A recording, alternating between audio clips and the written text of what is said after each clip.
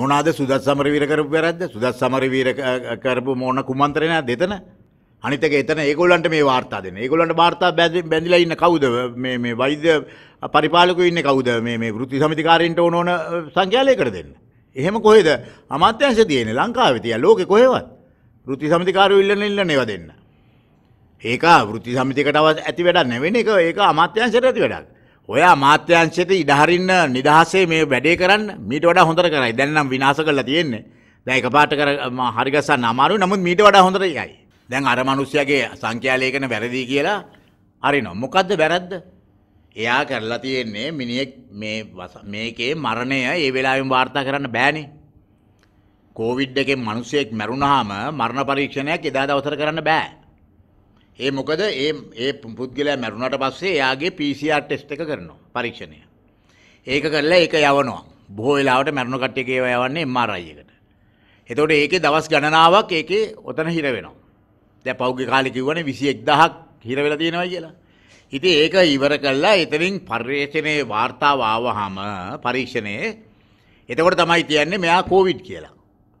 එතකොට තමයි එදාට තමයි සහතිකයේ සහතික වෙන්නේ මෙයා කෝවිඩ් එකෙන් තමයි මැරුණේ කියලා. හරි? එතකොට දවස් ගණනාවක් ගිහලා සතියක් ගිහිල්ලා සමහරලාට. එතකොට එයාගේ එයාගේ එයාම මැරුණා නැහැ කියලා කියන්නේද? එයාගේ මරණය එදාට වාර්තා කරනවා. මරණය නිශ්චිත විදියට වාර්තා වෙන්නේ එදාට. හැබැයි මරණය වාර්තා වෙලා මරණ මැරුණේ වෙන දවසක. ඒකනේ අර කියන්නේ මේ දවසේ මැරුණේ කියලා. එතකොට මේ මරණ වාර්තා එවනකොට ඒගොල්ලෝ වසංගත රෝග අංශයෙන් එවන්නේ එදා දවසේ මරණ සංඛ්‍යාව කියලා නෙවෙයි. මෙන්න මේ කාල පරිච්ඡේදයේ මරණ සංඛ්‍යාව කියලා. මොකද එතකොට වැරද්ද? එතකොට ඊට පෙර දිනට පසු දින ඊට පෙර දිනට වඩා ඊට පසු දින 101ක් වැඩි.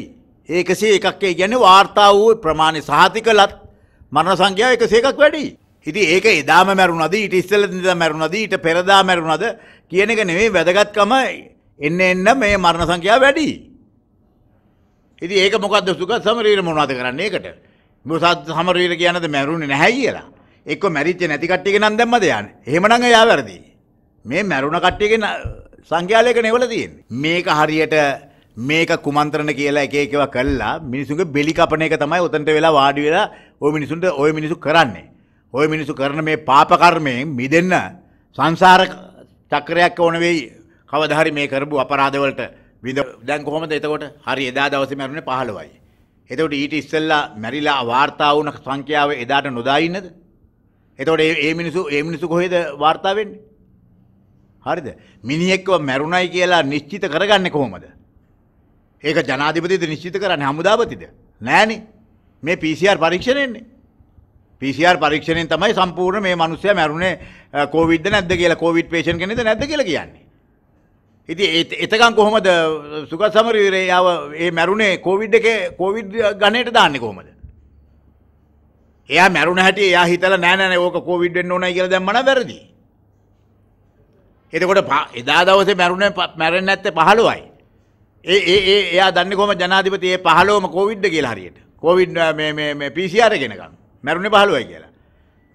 දැන් ඒක එදා 15 දානෝ සුරත් සමරවීර. පස්සේ එනවා 15න් හතරක් කොවිඩ් නෙවෙයි කියලා. එතකොට එතකොට එදාට කියනවා සුරත් සමරවීර 11ක් මැරුණ එකට 15ක් දැම්මයි කියලා. එදාට කියයි. මෙහෙම නෙවෙයිනේ යම් ක්‍රමවේදයක් තියෙනවානේ වාර්තා කරන. ඒ ක්‍රමවේදයනේ මේ ගලාගෙන එන්නේ. අනිත් එක මේගොල්ලන්ට බෑ උගන්වන්න ඕක.